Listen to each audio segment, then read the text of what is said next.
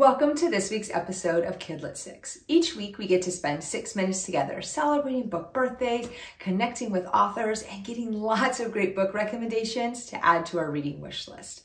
As a reminder, all the books mentioned in the episode are listed down below, so if you hear about a book that sounds interesting, you can look down there to get all the details. If you're new here, we'd recommend going back and watching previous episodes. It's a great way to fill up your reading wish list. And if you've been here for a while, welcome back. And now on to this week's episode.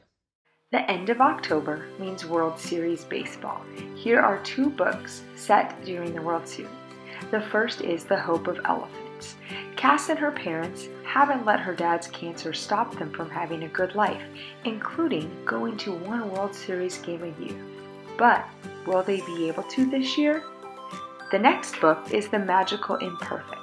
This is set against the backdrop of the 1989 San Francisco earthquake and the World Series about a boy who is selectively mute and a girl who won't leave her house because of a skin condition.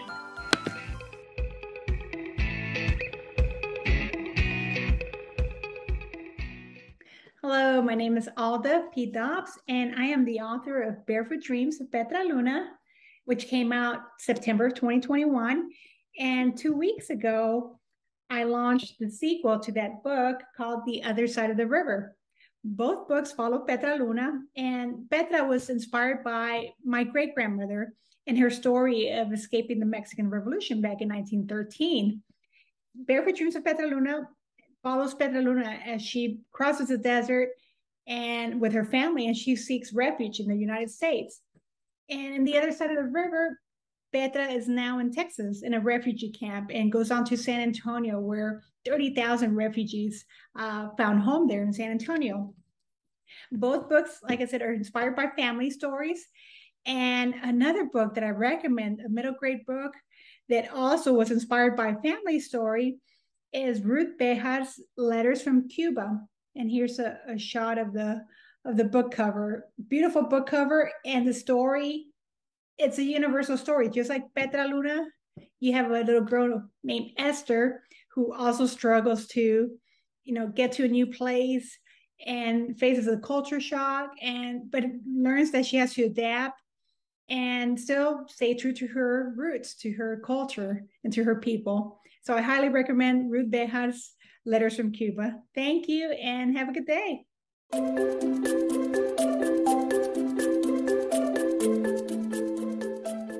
Book first comes out is called its publication date. But it can also be called its book birthday, and that's a lot more fun, so we're going to go with that. So let's get ready to celebrate a few of this week's book birthdays. First up is The Bridge Battle. Evan and Jessie from the Lemonade War series are back. They've been through a lot together, but now it's time for their next adventure. Evan is a natural leader and has always been great at making friends, but now he finds he's at the mercy of a playground bully and he finds himself acting in ways he's never acted before. Science-loving Jessie wants to win a bridge building competition, but she finds herself at a camp with kids who believe fairies are more real than science, and she is also soon acting in ways that puzzle her. Is this the new normal for Evan and Jessie, or will they return to their old ways? Next up is Looking for True. Gladys and Jude live in the same small town and go to the same school, but they could not be more different. Gladys is small, tiny, eccentric, and a walking dictionary. Jude likes to keep his thoughts and feelings to himself. They are definitely not friends. But when they discover that the new dog in the neighborhood is being mistreated by its owner, they join the same team and they hatch a plan to rescue the dog. Will they be successful? Next up is Controlled Burn. Maya's parents say she's lucky that she was able to pull her sister out of their house in time. But is it really so lucky when Amelia's in the hospital with burns all over her body? And is it really so lucky when Maya is the one at fault for the fire? Maya is sent to northern Minnesota to stay with her grandparents while her sister heals, but she quickly realizes that she can travel away from where the fire happened, but the demons and the feelings of guilt just aren't going to leave her. Maya needs to figure out how to overcome these feelings, but what if she can't?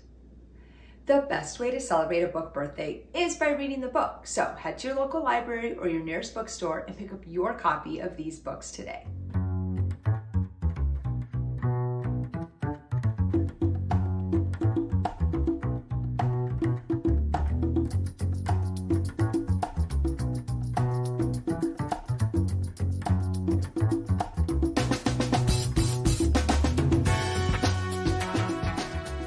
I stood absolutely aghast when I saw the cars crashing. Do you think you can create your own sentence with the word aghast? Try creating your own sentence and then share it with us on social media or put it in the comments down below. Thank you for watching this week's Kidlit 6. We hope you found lots of great books to add to your reading wish list. We'll see you again next week with lots more book recommendations. In the meantime, have a great week and happy reading.